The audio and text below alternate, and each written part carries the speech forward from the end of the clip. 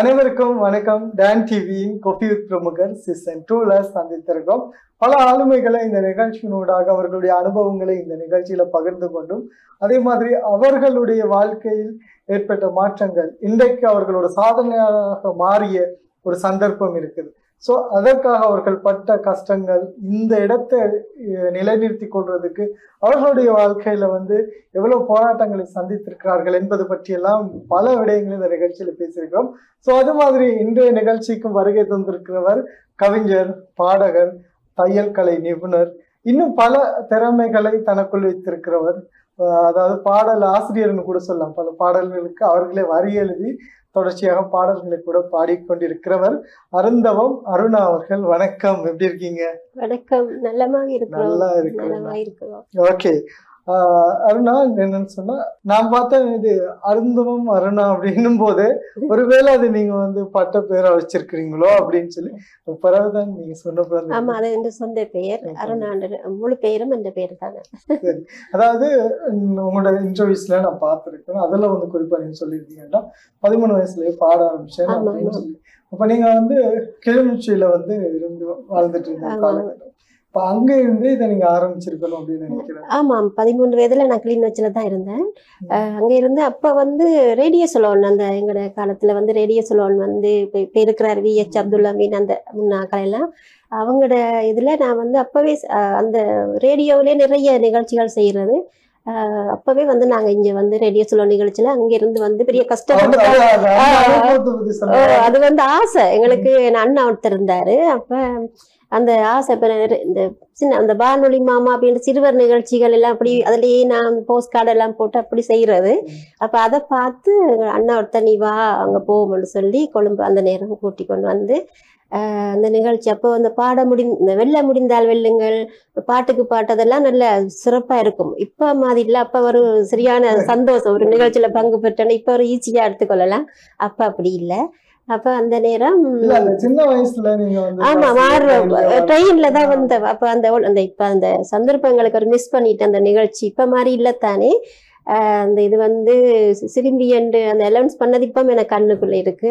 அஹ் கிளிநொச்சியில் இருந்து ஒரு சிறுமி வருகிறார் என்று அந்த பெருசா ஆர்வத்தோடு வருகிறார் என்று அந்த அவங்களை அலௌன்ஸ் பண்ணது வந்து விஎச் அப்துல் அமீன் அவர் தான் அவர் சார் அவர் தான் அவர் சொன்னது இன்னும் எனக்கு காந்துக்குள்ள அழிச்சு கொண்டே இருக்கு. தாவானி பாவடையோட ஆமா தாவானி பாவடையோட வந்தேன்டா அந்த எங்கட கலாச்சாரம் அங்க இருந்து அப்படித்தான் வரணுமென்ற ஒரு இதுல வந்து பாடி அப்போ ஒரு மியூசிக் கொண்டு போடுவாங்க. அந்த மியூசிக்கை நாங்க கண்டுபிடிக்கணும். அதுவும் எனக்கு பழைய பாட்டு அந்த நேரமே ஒரு பழைய பாட்டு ஒன்று வந்தது. காவேரி ஓரம் கதை சொன்ன பாட்டு. அதை நான் கண்டுபிடிச்சிட்டேன். அந்த அந்த அளவுக்கு ரேடியோ கேட்டு கேட்டு ஆசை. அதை கண்டுபிடிச்சு அதுக்கு எனக்கு பவுச்சர்ன்னு சொல்லுவாங்க அந்த நேரம் காசோலை. அதுவும் தந்தாங்க அந்த நேரம். சரி சின்ன வயசுல நீங்க முதல் தடவையா கொழும்புக்கு வாரீங்க ஆமா ஆமா. கொழும்பு அப்படின்னா அப்ப பெருசா அது பெரிய எங்களுக்கு வெளிநாடு மாதிரி. கொழும்புன்றாலே ஆசை. அப்ப எல்லாம் நான் கொழும்புல வந்து இருக்கணும்ன்ற பெரிய கனவு. இப்ப. நிச்சயமா எனக்கு நீங்க அறிமுகமானது கூட பாடகரா ஆமா ஒரு நிகழ்ச்சியில நீங்க வந்துருந்தீங்க. அப்பதான் அறிமுகம். ஆனா உங்களுக்குள்ள பல திறமைகள் இருக்கு. குறிப்பா வந்து தையல் கலை நிபுணரா இருக்கீங்க. அதே மாதிரி கவிதை அது வந்து இந்த சொந்த தொழில் அது. அது. அதே மாதிரி கவிதை எழுதிட்டு இருக்கீங்க. பாடல்கள் எழுதி அதே மாதிரி பல விருதுகளும் தொடர்ச்சியா சமீப காலங்கள்ல உங்களுடைய பக்கம்லயே பார்க்க முடியும் பல விருதுகள் கிடைக்குது. ஆமா. ஓகே இப்ப நீங்க வந்து தையல் கலை அப்படின்றது நீங்க வந்து ஒரு தொழிலா நீங்க அதை மேற்கொள்றீங்க அப்படின்னு. அதாவது ஒரு பக்கத்துல உங்களுக்கு கச்சேரிகள் இருக்கும்.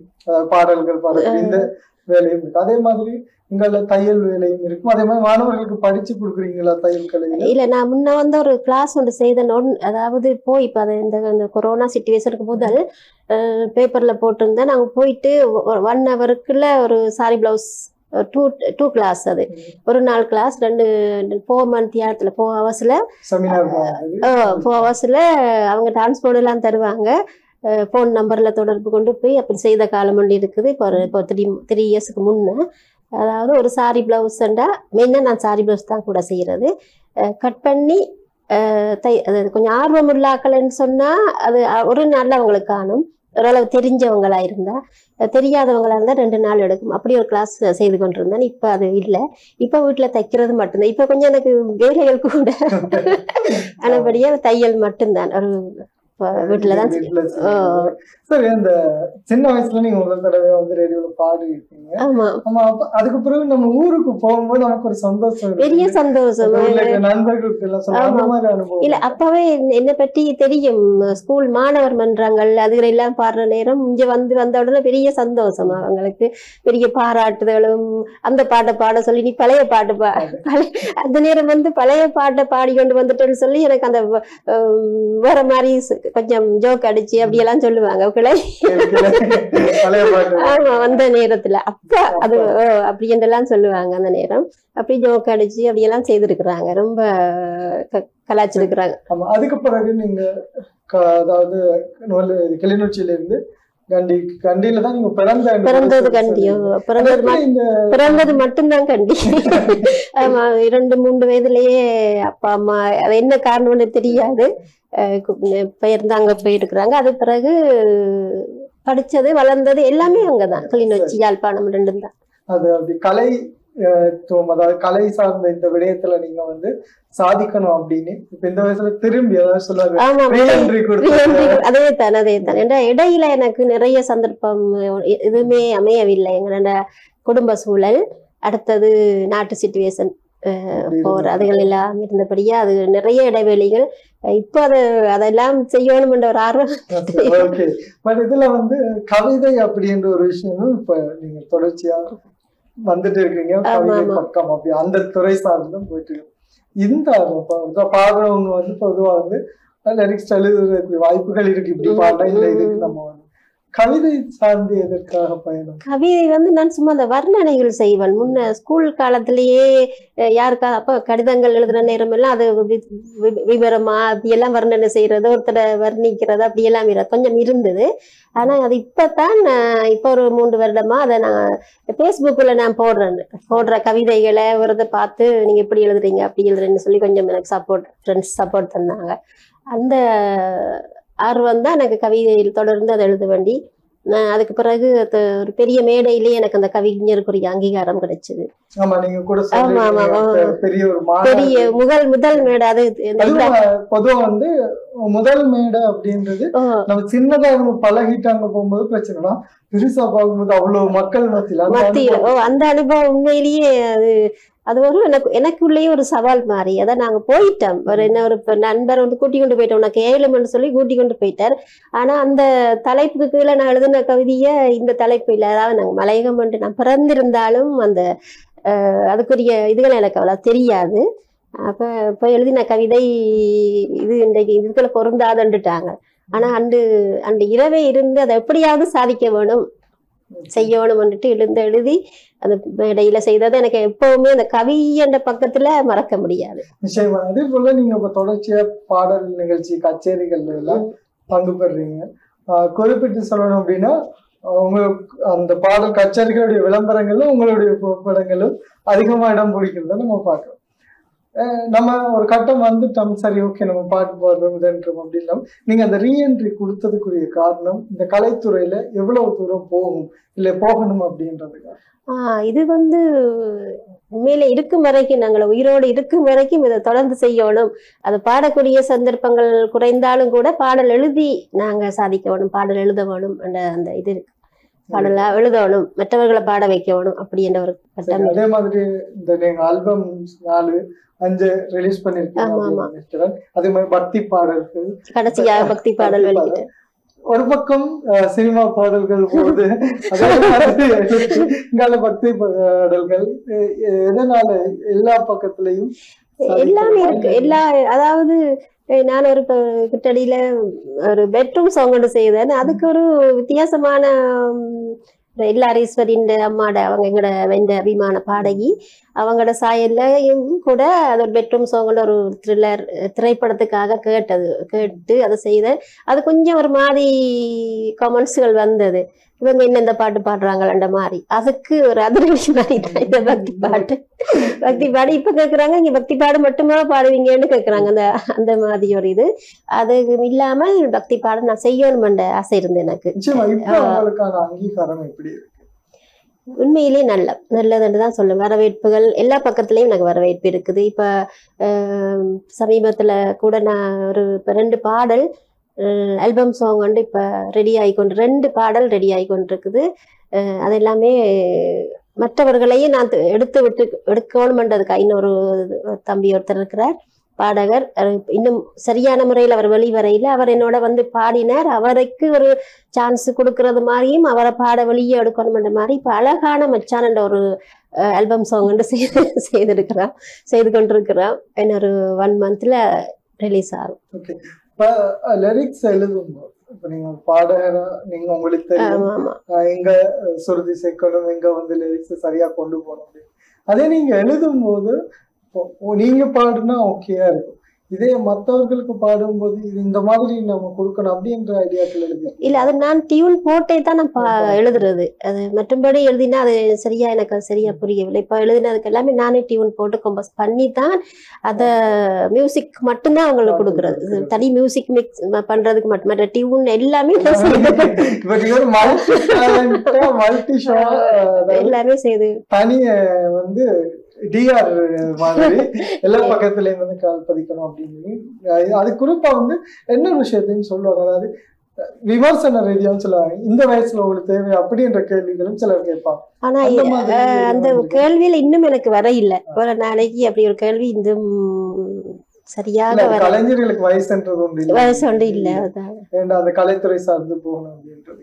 அதே மாதிரி இப்ப சமீபத்துல உங்களுக்கு கவிதை அதாவது கவிதா வட்டம் இதால வந்து ஒரு. விருது புத்தகம் எல்லாம் கிடைச்சது அப்படின்னு புத்தகத்தில் என்னுடைய கவிதையும் இடம் விடப்பட்டிருக்குது. பெற்றிருக்கிறது அப்படின்னு. அப்ப நீங்க கவிதை எந்த மாதிரியான தருணத்துல பொதுவா வந்து சிலர் வந்து சோகமா இருக்கும்போது கவிதை எழுதுனதை பார்த்திருப்போம். சிலர் வந்து இல்ல கற்பனை திறனை கூட்டுறதுக்காக எழுதுறது அந்த மாதிரி. ஆமா அது வந்து எங்கட நாங்க எங்கட சொந்தமா பர்சனலா செய்யற நேரம். இப்ப நாங்க பங்குபற்ற நிகழ்ச்சிகள் வந்து அவங்க தலைப்புக்கு கீழே தான் நாங்க செய்யணும் இப்ப நான் இந்த கனடா தொழிலாளின்ற ஒரு கவி வட்டம் தொடர்ந்து செய்து கொண்டு வரோம். இப்ப அதுல வந்து தலைப்பு கொண்டு தருவாங்க. இந்த தலைப்பு கீழே தான் வரணும் இத்தனை வரி இத்தனை ஒரு ஒரு இதுக்கு ரூல்ஸுக்குள்ள அதே மாதிரி நான் ஒரு தமிழ் அமுது தொலைக்காட்சியிலையும் தொடர்ந்து பங்கு பெற்றி வரேன் இந்திய தொலைக்காட்சியிலையும். அதுலயும் ஒரு தலைப்பு தான். இப்ப பாரதி யாரா? எ- என்ன தலைப்பு தராங்களோ அது. அது ஓகே. அது இல்லாம நம்ம எழுதுவோம் இல்லையா? சில கவிதை நீங்க சொன்ன மாதிரி பேஸ்புக்ல போடுறதுக்கு அது- தனிப்பட்ட ரீதியில அது கவிதை உண்மையிலேயே கவிதைன்னு சொன்னா கிட்டத்தட்ட எங்களோட சொந்த இதுக்கு தான். ஒரு அரைவாசி அதுல தான் வரும். எப்படின்னு கவிதை என்று சொல்லிக்க அல்லது இன்னொருத்தரை நாங்க அனுபவிச்சு எழுதணும். அது இன்னொருத்தரை கற்பனையை நாங்களா நினைச்சு ஒரு கற்பனையில ஒரு கவிதை எழுத அது காதலா இருக்கலாம் அல்லது அம்மாவா இருக்கலாம் அப்படின்னு அந்த கற்பனைக்குள்ள நாங்க போய் அதை பாடுறது மாதிரியே தான் அந்த கற்பனைக்குள்ள போய் தான் அந்த கவிதையை நாங்க எடுக்கணும். நிச்சயமா. இன்னும் தொடர்ந்து பேசும் ஒரு இடைவேளை இருக்கு. இடைவேளைக்கு பிறகு எங்க கூட பாடகர் கவிஞர் அதே மாதிரி தையல் கலை நிபுணர் அருந்தவனம் அருணா அவங்க இணைஞ்சிருக்காங்க. இன்னும் நிறைய விஷயங்களை பேசலாம். இடைவேளைக்கு பிறகு.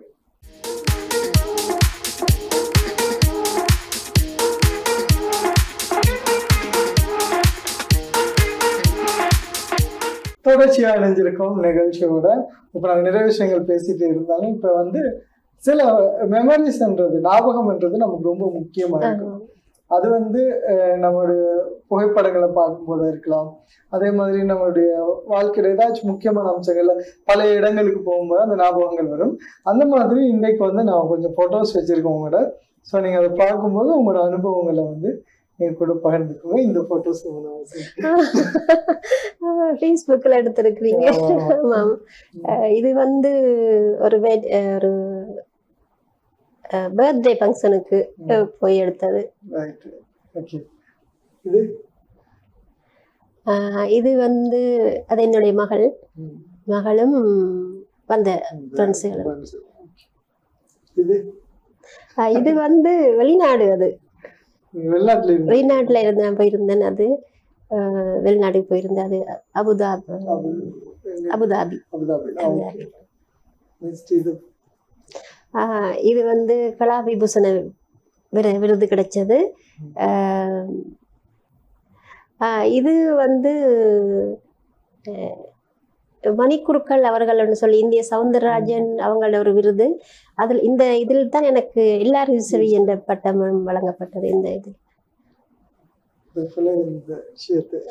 இது தான் நான் இப்போ சொன்ன கவி அமெரிக்க முத்தமிழ் பேரவை என்ற அந்த கவி வட்டம் அது அது அது மறக்க முடியாது என் வாழ்க்கையில என்னன்னு சொன்னா அந்த மேடையில இருக்கிறதுக்கு உண்மையிலே எனக்கு தகுதி இருக்குமான்னு கூட அந்த நேரம் சொல்ல முடியாது. இல்ல இல்ல அந்த நேரம் இப்ப கூட ஓரளவு அப்ப அந்த அப்படி ஒரு மேடையில என்ன சேர்த்ததே அது கடவுளுக்கு பெரிய ஒரு வரப்பு அந்த தலைப்புக்கு கீழே உண்மையிலே ஒரு ஒரு தலைப்புக்கு கீழே ஒரு கவிதை எழுதி அப்படி ஒரு இடத்துல ஒரு பெரிய மேடை அது பெரிய அதுல இருக்கிறன்றது பெரிய சந்தோஷமான விஷயம். சரி அந்த கவிதை ஞாபகம் இருக்கா உங்களுக்கு? இருக்கு. ரெக்கார்ட் பண்ணினது. அதை என்ன எடுத்துட்டு வர இல்லை. சரி. இது அதுக்கான அதற்கான அங்கீகாரம். அந்த அமெரிக்க அது தொடர்ந்து என்ன என்னை அங்க அவங்க அங்கீகரித்து அதற்குரிய அங்கீகாரத்துக்கு தான் அந்த இலக்கம் வழங்கி கொடுக்குறது. பக்தி பாடல். பேப்பரில் நியூஸ் பேப்பரில் வந்தது.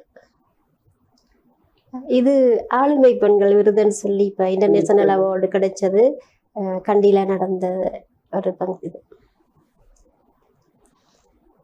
இது கடைசியாக கடந்த ஞாயிற்றுக்கிழமை கவிதா வட்டம் நூறாவது கவிதா வட்டம் அதில் அந்த நூல் வெளியீட்டு விழா அதில் என்னுடைய எண்பத்தாறாவது பக்கத்தில் என்னுடைய கவிதையும் என்னுடைய குறிப்பும் அதில் இடம்பெற்றிருக்கு.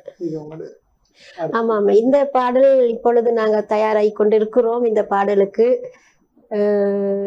கிட்டத்தட்ட வெளியிடலாம். இதுதான் இப்ப அடுத்து வெளியிட இருக்கிறது. அந்த பாடல் நான் தான் எழுதுறேன். எல்லாமே பாடுற அந்த பாடல் இப்ப பொதுவா வந்து நமக்கு வந்து ஒரு விஷயம் இருக்குன்னா அங்கீகாரம் அப்படின்றது ரொம்ப முக்கியமான ஒரு விஷயம். அதே மாதிரி இப்ப இருக்கிற ஜென்ரேஷனுக்கும் நம்ம வந்து நம்மளுடைய பாடல்களா இருக்கலாம் கவிதைகளா இருக்கலாம் இலக்கியம் சார்ந்த விடயங்களா இருக்கலாம் கொண்டு போய் சேர்க்கணும் அப்படின்ற ஆர்வம் மூத்த கலைஞர்களா நிறைய பேருக்கு இருக்கு. இருக்கு. அதுல வந்து இப்போ நீங்களும் வந்து தொடர்ச்சியா இசை கச்சேரிகள் எல்லாம் பண்றதை பார்க்கலாம். பாடல்கள் தொடர்ச்சியா பாடுறது இந்த மாதிரி லிரிக்ஸ் வீடியோ ஆல்பம் ரிலீஸ் பண்றது இதெல்லாம் வந்து தொடர்ச்சியா நடந்துட்டே இருக்கு. ஆனா இருந்தாலும் வந்து மக்கள் இளைஞர்கள் மத்தியிலையும் சரி இல்ல புதுசா நீங்கள் வந்து பாடல்களை வந்து எழுதி அதை கொண்டு போய் சேர்க்கறதுக்கு வந்து என்ன மாதிரியான கஷ்டம் இருக்கு உங்களுக்கு? அதை கொண்டு போய் சேர்க்கறதுல? கஷ்டமென்று சொல்லுவதற்கு இல்லை. அதுக்கு அடையாளமாக தான் நான் சொன்னேன். அந்த பாடல் வரிகள் வரிகள் எழுதணும். இப்போ உள்ள பாடல்களை இப்போ உள்ள இதுக்கு ஏற்ற மாதிரி நாங்கள் எழுதணும். அந்த ஸ்டைலையும் அதுக்கேற்ற மாதிரி நாங்கள் செய்யணும். அப்போ தான் இந்த இளைஞர்கள் மத்தியில் அது சேரும். அதை நாங்கள் ஒரு பழைய ஸ்டைலுகளை கொஞ்சம் அது ஆனால் அதுதான் இப்போ எல்லாருமே கேட்கிறாங்க அதை ஆதரிக்கிறாங்க. இருந்தாலும் இப்போ உள்ள இளைஞர்களை நாங்கள் ஆதரிக்கணும் இல்லையா? அதுக்கேற்ற அவங்களோட இப்போ இந்த நான் கடைசி எழுதின பாட்டு கூட கிட்டத்தட்ட ஒரு கிராமப்புற பாடல். ஆனாலும் அது இப்போ உள்ள ஸ்டைலுக்கு தான் அந்த எடுத்திருக்கிறோம். நிச்சயமா வந்து நம்ம தொடர்ச்சியா பேசிட்டே இருக்கிறோம். ஆடியன்ஸ்லாம் பார்க்க போறாங்க ஒரு பாடகரை கொண்டு வச்சுட்டு ஏன்னு பாடல அப்படின்னு சொல்லி எங்களுக்கு உங்க மனசுக்கு பிடிச்ச ஒரு பாடல். இல்ல நான் கூடுதலா இப்ப எல்லா இன்டர்வியூகளுக்குமே இந்த எல்லாரும் ஈஸ்வரியம்மாட அந்த ஒரு பாடல் எல்லா இடத்துக்கும் போனாலும் பாடுவேன். இங்க அப்படி இல்லை. இந்த பாடல். பிடிச்ச. பாடல்னு சொல் பிடிச்ச பாடல்னு சொல்றதை விட இந்த நிகழ்ச்சி ஆமா ஆமா. அந்த ஃபர்ஸ்ட்டுக்கே அதை இந்த பிள்ளையார்னு சொல்ற பிள்ளையார் எல்லா இடத்துக்கும் போனா சொல்லுவாங்க பிள்ளையார் சொல்லி சொல்லி அந்த மாதிரி அந்த எல்லாரும் சரி பாடல் தான் நான் ஒரு சில வரிகள். எலும்பு பழம் எலும்பு பழம் எலும்பு பயம். சிக்கு செவந்த பயம். இது தேனாட்டம் நிற்கும் பயம். எல்லோரும் வாங்கும் பயம். இது இலக்கின பறந்த பயம் இழந்த பயம் இழந்த பயம் இழந்த பயம் செக்க செவந்த பயம் இது தேனாட்டம் இனிக்கும் பயம் சூப்பர் சூப்பர். என்னன்னா இந்த மாதிரியான பாடல்கள் வந்து என்னைக்குமே அதோட மவுஸ் குறையாது. நீங்கள் இந்த மாதிரி பாடல்களை ரீமிக்ஸ் செய்யணும் அப்படின்ற ஏதாச்சும் யோசனை செஞ்சிருக்கீங்களா? இந்த மாதிரி பாடல் உண்டு. இதே ஸ்டைல்ல அதாவது அந்த ஒரு குறிப்பிட்ட காலத்துக்கு முன்னுக்குள்ள கிளப் டான்ஸ் சொல்லுவாங்க. அந்த இது இவங்கட பாடல் தான். எல்லாரையும் பொப்பிசை இப்ப அந்த பொப்பிசை இல்ல கிளப் டான்ஸ் அது அது பொப்பிசை வேற கிளப் டான்ஸ் வேற அந்த நேரம். அந்த அந்த ஸ்டைல்ல ஒரு பாடல் நான் இரு செய்துட்டேன். செய்து ரெக்கார்டிங் எல்லாம் முடிஞ்சது. அது அதுக்குரிய வேலை அது செய்துட்டேன். அது செய்து ரெக்கார்டு எந்த வேலை முடிஞ்சது? அவங்களோட வேலை தான் இருக்கு மிச்சம். எப்ப நம்ம ரிலீஸ் பண்ண போறோம் சரி இப்ப இந்த பாடல்கள்லாம் இருக்குதானே? இப்ப நிறைய பழைய பாடல்கள் வந்து குறிப்பா நான் ஆணையிட்டாத பாடல்கள் ஆஹ் இந்த மாதிரி அந்த பாடல்களை வந்து ரீமேக் செஞ்சு ஒளிப்பதிவு செஞ்சு வெளியிடுறதுல இங்க இங்கத்தைய கலைஞர்கள் அந்த மாதிரி எவ்வளவு ஆர்வம் காட்டுறாங்க? நீங்க ஒரு ஆர்டிஸ்ட் அப்படின்றதால உங்கள்கிட்ட இந்த கேள்வி கேட்கறது நிறைய பேர் அப்படி செய் செய்கிறது செய்கிறாங்க ஆனால் நிறைய பாடல்கள் எனக்கு நான் ரேடியோவில் கூட கேட்டிருக்கிறேன். நேற்று ரேடியோவில் கேட்குற நேரம் அந்த சவுந்தரராஜன் பாடல் சிவாஜிட பாடல் உண்டு.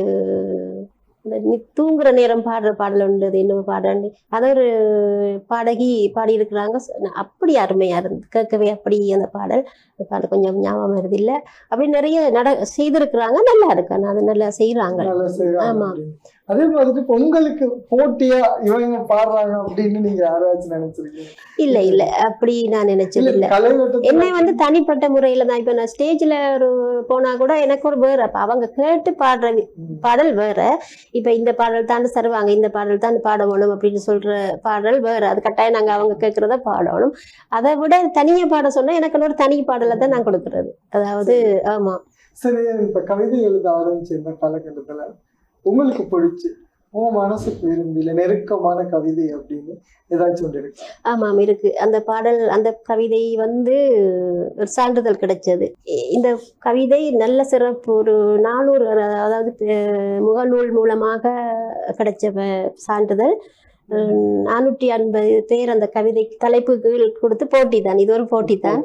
அது எல்லாரும் எழுதி நான் நான் முப்பது பேருக்குள்ள இந்த கவிதை தெரிவு செய்யப்பட்டு சான்றிதழும் கிடைச்சது சான்றிதழும் எனக்கிட்ட இருக்கிறது. இது வந்து அம்மாவின் முத்தம்.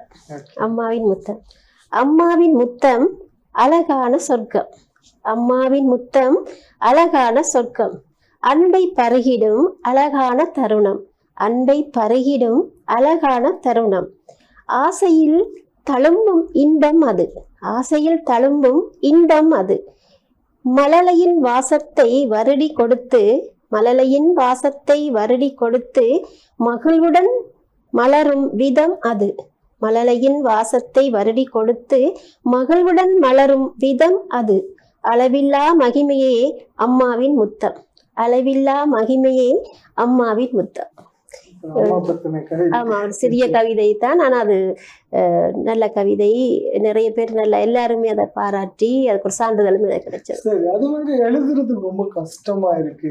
இதை நான் இப்படி சரி எழுதணும் அப்படின்னு நினைச்சது. ஏய், இல்லை நான் எழுதுறது எனக்கு ஈஸி ஈஸி இப்போ கவிதை என்றாலும் தலைப்பு தந்தால் ஒரு ஒன் ஹவர் ஒரு ஒரு மணி தியாரத்துக்குள்ள நான் எழுதிடுவேன் அந்த தலைப்புல. இப்ப வந்து இப்ப ஒரு ஆர்டர் வந்திருக்கு. நீங்க ஒரு தையல் தொழில் இப்ப அதே நேரத்துல கச்சேரி ஒண்ணு வந்திருக்கு. அதே மாதிரி ஒரு கவிதை போட்டி நிகழ்ச்சியும் வந்திருக்கு. இதற்கு டைம் நான் டைம் வந்து ஒதுக்கி வச்சிருக்கிறேன். அதாவது மத்தியானம் இந்த கவிதை எழுதுறதுக்கெல்லாம் நான் போறேன் இல்ல. வீட்டு வேலைகளும் சமையல் எல்லாமே நாங்கள் ஃபேமிலி என்றபடியா எல்லாரும் இருக்கிறதால கவிதை எழுதுறதுக்கு மூன்று மணில இருந்து ஐந்து மணி நேரத்துக்கு ஐந்து மணி. அதாவது எங்களோட லஞ்ச் முடிய அந்த தூங்க மாட்டோம். அந்த டைமுக்கு தான் அந்த கவிதைகள் அந்த இந்த மாதிரி சம்பந்தமான வேலைகள் செய்யறது தையல் வேலைகள் வந்து நான் எட்டு ஒன்பது மணில இருந்து ஒரு மணி அந்த வேலைக்குள்ள நாங்க தையல் சம்பந்தமா செய்து கொள்ளுவோம் இதுக்கிடையில அதுக்கு மூன்று மணி பிறகுதான் இந்த ஏதாவது செய்யறேன்டா செய்வேன். பின்னேரங்கள்ல பாடல் ப்ராக்டிஸ் பாடல் எழுதுறது வந்து பின்னேரம் எட்டு ஏழரை எட்டு அந்த மாதிரி டைம்ல நான் செய்து கொள்வேன். சரி நீங்க தொடர்ச்சியா இந்த கச்சேரிகள்ல எல்லாம் கலந்துக்கிறீங்க. ஆனா அதுக்கு வந்து இந்த மக்கள் அதாவது தமிழ் பேசுற மக்கள் வந்து எந்த அளவு ஆதரவு கொடுக்குறாங்க ஆதரவு தாராளமா இருக்கு. இல்லைன்னு இல்லை ஆனா நான் தூர போறது குறைவு. அது ஒரு எனக்கு ஒரு பிரச்சனை என்னென்னா இப்போ யாழ்ப்பாணத்தில் இப்போ கிட்டடியில் கூட யாழ்ப்பாண நண்பர்கள் அங்க வந்து பாட கேட்டாங்க. அதுக்கு போக முடியாத சூழல் என்ற ஆஹ் உண்டு. மற்றது குடும்ப சூழல் தூரத்தில் போக முடியாது. நான் கொழும்புல எங்களோட இடத்தை சுற்றி மட்டும்தான் செய்யறது அது மட்டும்தான். சரி அதே மாதிரி இப்போ உங்கள்கிட்ட வந்து உங்களோட கஸ்டமர்ஸா இருக்கலாம். நீங்க பாடுறத கேட்டுட்டு என்ன மாதிரியான வாழ்த்துக்கள் என்ன மாதிரியான சொல்லிருக்கலாம் ஆ பாடி கேட்டு பக்கத்துல ஆக்கள் எல்லாம் கேட்பாங்க அந்த அதை என்ன சொல் எல்லாரும் ஈஸ்வரிட்ட ஸ்டைல போட்டு பாடுங்கன்னு சொல்லுவாங்க. அந்த இது கொஞ்சம் வரவேற்பு. அதை நான் பாடி காட்டுவேன் இருந்தாப்புல. எல்லாரும் சூரியம்மா பாடுனதெல்லாம் அவங்களோட சினித்துறையில நீங்க ஏடா அவங்களோட அந்த அவார்டே உங்களுக்கு கிடைச்சிருக்கு. அப்படி இருக்கும்போது அந்த அவர்களுடைய பாடல் உங்க ம- பிடிச்சது. உங்களுக்கு பர்சனலா அவங்க படிச்சதுல இப்படி ஒரு பாட்டு எனக்கு பிடிச்சிருந்துச்சு பிடிச்ச பாட்டுன்ற அந்த காதோடு தான் அந்த பாட்டு தான். காதோடு தான் பாட்டு. அதே மாதிரி நீங்க இல்ல அவங்களோட பாடல்ல இப்படி ஒரு பாட்டை ஏதாச்சும் ஒரு சந்தர்ப்பத்துல நான் அது கொஞ்சம் ரீக்ரியேட் பண்ணி ரீமிக்ஸ் மாதிரி பண்ணணும் அப்படின்னு நீங்க ஏதாச்சும் நினைச்சிருக்கீங்களா? இது வரைக்கும் அப்படி நினைச்சு இது வரைக்கும் அந்த ஐடியா வர இல்லை என்ற அது வேலைகள் கூட. ஆனா அதை விட அவங்களோட பாணியிலேயே நான் சொந்தமா எழுதணுமென்றது தான் எனக்கு. அந்த அவங்களோட ஸ்டைல அவங்களோட பாணியிலேயே அதே ஸ்டைலில் அதே மாதிரி ஒரு பாடல் முடிஞ்சுது. ஆனாலும் அப்படி இதுதான் இருக்கு. தொடர்ச்சி அந்த அவங்களோட ஸ்டைல் ஆனா அந்த இந்த பாடல் நல்லா ஹைட்டா ஆகும்னு சொன்ன கட்டாயம் நம்பிக்கை இருக்கு என்று சொன்னா அந்த பாணியில நாங்க தொடர்ந்து மூன்று பாடல் செய்து அதை ஒரு ஆல்பமா அந்த அதை ஒரு இதா செய்யலாம் இப்படியான ஒரு சந்தர்ப்பத்துல வந்து இந்த துறையில நீங்க தொடர்ந்து பயணிக்கணும் அப்படின்னா குடும்ப சப்போர்ட்ன்றது என்ன குடும்ப சப்போர்ட் வந்து உண்மையிலேயே சொல்ல போனால் சப்போர்ட் குறைவு இல்லை. என்று சொல்லலாம். ஆனால் தடை இல்லை. தடை இல்லை அதுவே சப்போர்ட் தான். செய்ய வேணாம் எதை செய்தாலும் சரியான முறையில நான் செய்வேன் என்ற ஒரு நம்பிக்கை என்னில ஒரு நம்பிக்கை எதுக்கு செய்த செய்தாலும். ஆனபடியா அந்த தடை இல்லைன்றதே எனக்கு ஒரு பெரிய சப்போர்ட் மாதிரி தான். அதை செய்யாதீங்க இதை செய்யாதீங்கன்னு தடை இல்லை. வீட்டுல யாருமே அந்த அஹ், இப்ப நீங்க தொடர்ச்சியா படிக்கிற பாடல்கள் இந்த இதெல்லாம் வந்து இடைக்கால பழைய மாதிரி. புது பாட்டுல நீங்க பாடணும் அப்படின்னு ஆசைப்படுற பாட்டு. புது ஆமா புது பாடல் நான் பாடுறது இல்ல. ஆனாலும் ஆசைப்பட்ட பாடல் வந்து ஒருதல காதல அந்த பாடல். ஒருதல காதல தந்த இந்த தருதல மனசுக்குள் வந்த ஒருதல காதல தந்த இந்த தருதல மனசுக்குள் வந்த காதலிக்க கைடு இல்ல சொல்லி தர வாவாட்டி சேர்த்து வச்ச ஆசையெல்லாம் அள்ளி தர வாவாத்தி ஏ உசைர ஓ உசைர தாரை கை நீட்டி இது என்ன பேலே உன்னால நான் பேலே படிக்காம ஓத்து நரையிலே நான் ஆளே.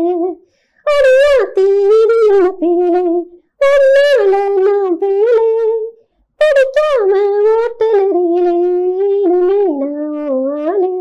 ஒருதல காதல தந்த இந்த தருதல மனசுக்குள் வந்த ஒருதல காதல தந்த இந்த தருதல மனசுக்குள் வந்த சூப்பர் சூப்பர் இந்த மாதிரி பாடல்கள் வந்து தொடர்ச்சியா இன்றைக்கு இருக்கிற யங்ஸ்டர்ஸ்க்கு வந்து உங்களை கொண்டு போய் தொடர்ச்சியா சேர்க்கும். இப்போ ஒரு இடைவெளி இருக்கு. இடைவெளிக்கு பிறகு தொடர்ந்து பேசலாம். கோஃபித் பிரமுகர் செட்டுவோட நினைச்சிருக்கீங்க குட்டியா இடைவெளி.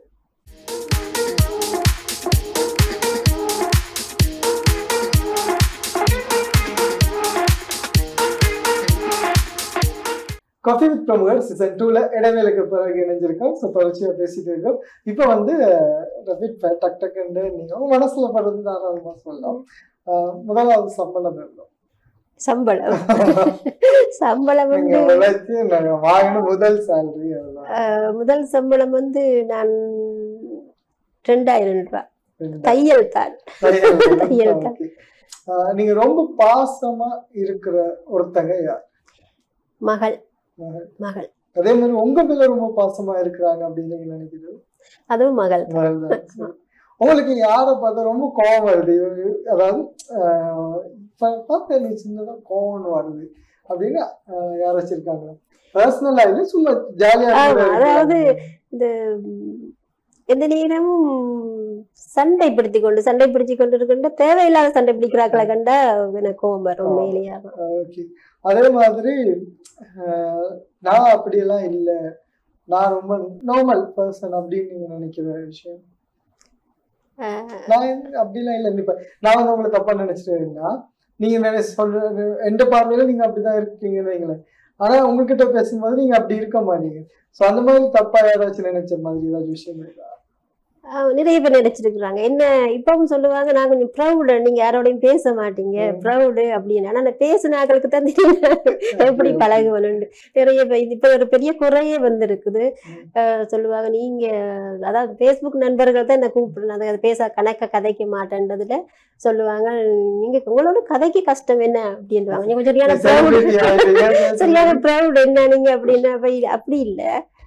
அந்த விஷயம் தொடர்ந்து எனக்கு இருக்குது. எனக்கு அந்த ஆசையெல்லாம் இல்ல. அப்படின்னு நீங்க நினைக்கிற விஷயம்? பணம் ஆசை எனக்கு குறைவு. உண்மையிலே இப்ப பெருசா ஆடம்பரமான ஒரு ஆசைகள் பெரிய பண ஆசை அப்படி அன்று இல்லை. இருக்கும் வரைக்கும் அது அதாவது அளவோடு வாழணும்ன்ற ஆசை இருக்குது. பண ஆசை உண்மையிலேயே எனக்கு பெரிய அளவுக்கு பணம் எங்க தேவைக்கு பணம் வேணும். தேவைக்கு பணம் வேணும். நிறைய சொத்து சேர்க்கணும்ன்ற ஆசை எனக்கு இல்ல. நிறைய சொத்துன்னு சொன்னா அதை நாங்க அனுபவிக்க மாட்டோம் தானே. அந்த அந்த அந்த ஆமா ஆமா. அது அது மாதிரி இருக்கு. அவங்க அப்படிதான் சொல்லுவாங்க. நம்ம நம்ம வேலையை பார்த்துட்டு போகணும் அப்படின்னு நினைக்கிற விஷயம்? ஃபேமிலி இப்போ எங்களோட பாடல் குடும்பத்திலும் சரி வழியிலையும் சரி இதெல்லாம் நீங்க ஏன் இப்ப செய்து கொண்டிருக்கிறீங்க? கேட்கறவங்க கேட்டவங்களும் இருக்கிறாங்க. இதுக்கு உங்களுக்கு காசு கிடைக்குமா? இது ஏன் இதுல மெனக்கிடுறீங்க? காசு கிடைக்குமான்னு கேட்டதுல அதை நான் அதை அவங்களுக்கு சொல்லி விடுவேன் அதை நான் பெருசுபடுத்த மாட்டேன். நான் இந்த விஷயத்துல ஜெனிவன் அப்படின்னு நீங்க உண்மையிலேயே நாங்க நாங்க சரியா இருந்தா எல்லாம் சரி. சரி. அவ்வளவுதான். மற்றாக்களை பத்தி எங்களுக்கு பிரச்சனை இல்லை. நான் இந்த விஷயத்தெல்லாம் எப்ப மாத்திக்கிட்டேன் அப்படின்னு நீங்க நினைக்கிறது ஆமா அது முக்கியமான விஷயம். அதாவது இந்த ஃபீல்டுக்குள்ள ஆரம்பத்துல வந்து சில சில சின்ன குறைகளும் எனக்கு தாங்க முடியாத இருந்திருக்கும். சில அதாவது எங்களை சில சில பிரச்சனைகள் வந்தால் இப்ப அப்படி இல்லை. இது எல்லாமே சகஜம்தான் இதெல்லாம் நாங்க சமாளிச்சு போகணும். இதுவும் ஒரு அனுபவம் வந்து அதை நான் தாண்டி போய் கொண்டிருக்கிறேன் எனக்கு இவங்க கூட எல்லாம் நேரம் செலவு பண்ண ரொம்ப பிடிக்கும். அப்படின்னு அதாவது தேவையில்லாத கதை கதைக்காம எங்கட ஃபீல்ட்ல உள்ள அதாவது நல்ல விஷயங்களை கதைக்கிற கலைத்துறையில இருக்கிறாங்களோட நல்லா நான் டைம் பண்ணுவேன். போன்லயும் சரி நேரடியா கதைச்சாலும் சரி. ஒரு சினிமா படத்துக்கு பாடணும்னா யாரோட ஹீரோட படத்துக்கு பாடுங்க ஹீரோ ஹீரோ ஹீரோட அஹ், யாராச்சும் ஹீரோ ரஜினியா இருக்கலாம் கமலா இருக்கலாம் விஜயா இருக்கலாம் அஜித்தா இருக்கலாம். ரஜினி ரஜினி அப்படி இப்போ அவர் நடிக்கிறது குறைவோ நடிச்சா அதே மாதிரி யாரோட இசையா இருக்கும் இந்தியாவில் இளையராஜா இசை இளையராஜா ஓகே அதே மாதிரி நண்பர்கள் என்றா இவங்க தான் அப்படின்னு நீங்க நினைக்கிறது? நண்பர்கள் என்றா எனக்கு ஒரு நண்பி இருக்கிறா. அவ தான் நண்பர் அவ தான் இதுதான் நண்பர் என்று சொல்லலாம். வாழ்க்கையில ஒரு தடவை சரி இதை பண்ணிடணும் அப்படின்னு நீங்க வாழ்க்கையில ஒரு தடவையாவது பண்ணிடணும்னு சொன்னா அஹ், ஏதாவது ஒரு ஷார்ட் பிலிம் பண்ணலாம்ன்ற இது ஒரு ஆசை இருக்கு. ஏதாவது அந்த அந்த. கட்டாயம் கட்டாயம் லைஃப்ல நான் எல்லாம் பண்ணிட்டேன் பட் இதோட நான் இந்த ஃபீல்டுல இருந்து வேற ஒரு பக்கம் போகணும் அப்படின்னு என்னைக்காவது நினைச்சது இல்லை இல்லை. அப்படி அந்த இது இல்லை. இப்போ இப்போ நான் செய்து கொண்ட செய்து கொண்டு போற ஃபீல்டே எல்லாம் நிறைய இருக்கு. அதுவே எங்களுக்கு போதுமான மாதிரி இருக்குது. அதுபடியா அந்த அந்த போதுமண்டால ஆசை இல்லை. கண்டினியூவா செய்யும் அதே போல இப்ப நீங்க பாட பாடல்கள் பாடிங்க எல்லாரையும் சரியமான பாடல்கள் எல்லாம் பாடியிருந்தீங்க நீங்க இப்ப தெரிவு செய்யற பாடல்களும் அவங்களோட குரல்ல வந்து பாடல்கள் மட்டும்தானா இல்லை? எனக்கு அவங்கள பிடிக்கும். அந்த அவங்களோட வாய்ஸ் வந்து எனக்கு செட் ஆகும் என்று பலராலும் எனக்கு சொல்லப்பட்டது. ஆனால் எல்லாரோட பாடலும் நான் பாடுவேன். பிடிக்கும். அதாவது இப்போ ஒரு ஸ்டேஜில் கூப்பிட்டால் அவங்களுக்கு அந்த அந்த முதல்ல அந்த அப்படி ஒரு எனக்கு நிறைய பேர் சொன்ன அந்த மியூசிக் டைரக்டர் எல்லாம் சொன்னாங்க நீங்கள் இந்த பாடலை மட்டும் பாடுங்க. இதுதான் உங்களுக்கு செட் ஆகும். இதை மட்டும் பாடுங்க. ஆனால் அப்படி நான் பாடணும்னு தெரிவு செய்து இதே தான் பயிலாரி சிறியம்மாட பாடலே தான் பாடணும்னு இருந்தால் எனக்கு ஸ்டேஜில் வந்து பாட வாய்ப்பு கிடைக்காது. என்ற ஸ்டேஜில் வந்து தனியாக அந்த அந்த பாடல் தான் கேட்கக்கூடிய ரசிகர்கள் குறைவு அப்படி நீங்க வந்து அவங்களோட வயசு இல்லாம வேற பாடகர்களோட வயசுல பாடின பாடல் ஏதாச்சும் ஆமாம் வாணி ஜெயராமோட பாடல் ஒன்று இருக்கு. மல்லிகை என் மன்னரும் பொன்னான மலரல்லவோ? மல்லிகை என் மன்னரும் பொன்னான மலரல்லவோ?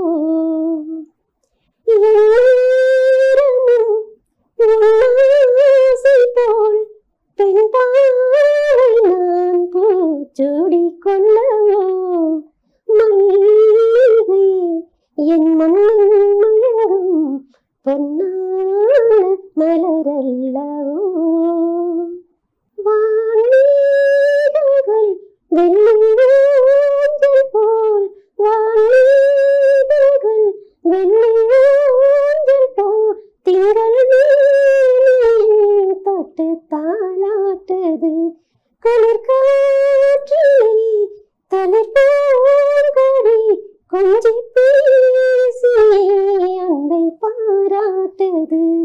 என் கண்ணன் துஞ்சத்தான் என் மஞ்சம் மஞ்சம் தான் கையோடு நான் அல்லவோ?